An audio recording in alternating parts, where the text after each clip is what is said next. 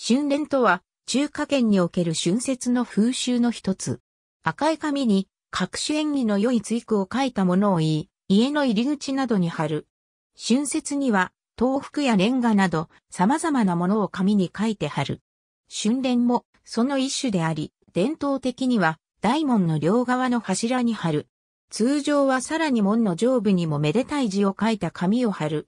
本 P は伝統的には右から左に書くが、現代のものは左から右に書かれることも多い。古来中国の東方の海上に土作山が位置し様々な鬼神が住んでいるとされていた。土作山に桃の大樹があり、樹上には金家が住んでいた。桃の大樹の東北が鬼門であり、世の中の鬼神はこの鬼門を通過して人間界に出入りしていた。この鬼門を守っていたのが神田と、うつるいという兄弟と虎であった。毎朝金系がなくと、夜中に人間界に出かけた鬼神は必ず、土作山に帰る規則になっており、神田、うつるい兄弟は人間に危害を加えた鬼神を見つけると縛り付け虎に飲み込ませたため、すべての鬼神に恐れられていた。この働きにより後に神田、うつるい兄弟は鬼神を懲罰する神仙とされ、正義と勇猛さの象徴として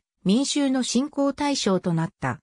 これより、春節の板は豆腐と称され現在の春蓮の由来となった。また、日本にもこの風習が伝わり、現在の門松しめ縄へとつながっている。時代が下るにつれ神田、移る以外に、神経や上知慶徳、孫部、長雲、学費、さらには方針演技の登場人物である年頭道人などが神格化され、豆腐に記されるようになった。東大になると邪神を追い払う意味が失われ、王安石の漢詩の中に、千門万古日、宋は新当該給付と表現されるように願い事を書くようになっていったと考えられている。またかさばる桃の板から紙に材質が変わったのもこの頃である。